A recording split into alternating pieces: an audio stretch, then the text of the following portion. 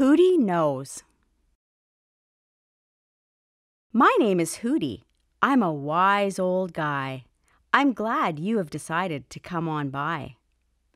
Hoo hoo, how do you do? I have a story I need to tell to you. Hoo hoo, here come the kids that have left school. Let's have a look at what is cool. Off they walk with all the folk. They're talking, laughing, and telling jokes. Hoo hoo! The kids are walking and having fun. They should not separate into ones. Listen well to what is read. Danger, I fear, is what's ahead.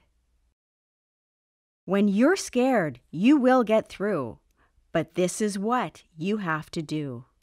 When asked to go and your parents don't know, shout no! Shout no! When asked to go and your parents don't know, shout no! Shout no! Be aware! Look around! Don't just stare at the ground. Use your eyes and your ears. Trust your feelings of fear. Turn away, run, go and tell someone. If you're asked to go and your parents don't know, shout no. Shout no.